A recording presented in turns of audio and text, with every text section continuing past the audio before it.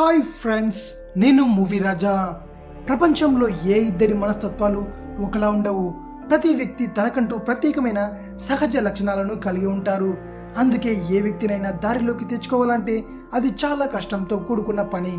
ఎందుకంటే ఒకరి గురించి మనకు ఎంతగా తెలిసినా వారిని మన దారిలోకి తెచ్చుకోవాలంటే చాలా శ్రమించాల్సి ఉంటుంది. అయితే ఎవరి మనస్తత్వాల్లో వైవిధ్యం ఎలా ఉన్నా కొందరికి మాత్రం కొన్ని గుణాలు కామన్గా ఉంటాయి. ఆ స్వభావాలను బట్టి వ్యక్తులను కేటగిరీలుగా వర్గీకరించి వారిని దారిలోకి తెచ్చుకునేందుకు ఎలా ప్రవర్తించాలో ఆచార్య చాణక్యుడు వేల ఏళ్ళ క్రితమే చాలా గొప్పగా చెప్పాడు.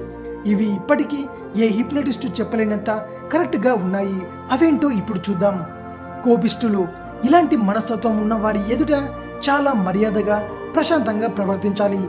అసలు ఎప్పుడు వారితో కోపాన్ని ప్రదర్శించరాదు.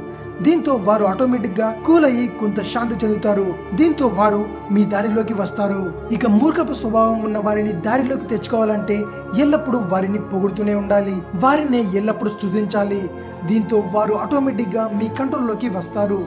ఇక ప్రతిభావంతులు మన ఎదుటి వారు మనకన్నా ప్రతిభావంతులైతే వారితో ఎల్లప్పుడూ నిజాలే మాట్లాడాలి. దీంతో వారు మన పట్ల ఆసక్తిని ప్రదర్శించి దారిలోకి వస్తారు. ఈగోయిస్టులు బాగా ఈగో ఉన్న వారిని దారిలోకి తెచ్చుకోవాలంటే ఎల్లప్పుడూ మర్యాదగా ఉంటూ అదే విధంగా ప్రవర్తించాలి.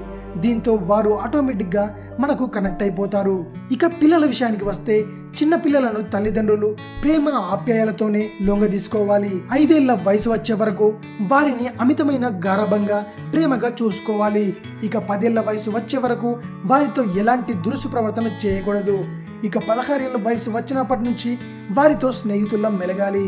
ఇప్పటి వరకు చెప్పిన వ్యక్తుల్లో మనస్తత్వాలు ఉన్న వ్యక్తులతోనే కాకుండా వివిధ సందర్భాల్లో ఎలా ప్రవర్తించాలో కూడా చాణక్యుడు వివరంగా చెప్పాడు. ముఖ్యంగా చాలా క్లిష్టమైన పరిస్థితులు ఎదురైనప్పుడు వీలైనంత ఓర్పుగా ఉండాలి. అవే మంచి ఫలితాలను ఇస్తాయి. ఓ వ్యక్తి సహజసిద్ధమైన స్వభావాన్ని తెలుసుకోవాలంటే అతని మాటలు ప్రవర్తన ఆధారంగా దాన్ని నిర్ణయించాలి. ఆచార్య చాణక్యుడు మానవులకు చెప్పిన కొన్ని ముఖ్యమైన ఆచరించదగిన నీతి సూత్రాలు ఇవే. ఆచార్య చాణక్యుడు చెప్పిన ప్రకారం అత్యాశ దురాశ స్వార్థం వంటి అంశాలను కలిగి ఉన్న వారిని ఎన్నటికీ మార్చలేమట.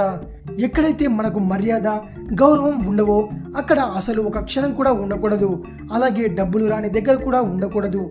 నదులు వైద్యులు ఉన్న ప్రాంతాల్లో మాత్రమే నివసించాలట. అవే నివాసానికి సరైన స్థానాలట. ఎలాంటి గొడవలు లేకుండా మిక్కిలి ఆహారం నీరు ఉన్న ప్రదేశాల్లో మాత్రమే ధనం దండిగా ఉంటుందట. సరస్సులో నీరున్నప్పుడు మాత్రమే వాటిలో ఉండే నీరు లేనప్పుడు వాటిని విడిచిపెట్టే అంశల్లా మనుషులు జీవించాలట. మనుషులు తోటివారికి సహాయం చేయకుండా ఉంటే అప్పుడు వారు బతికున్న చచ్చిన వారితో సమానమైనట.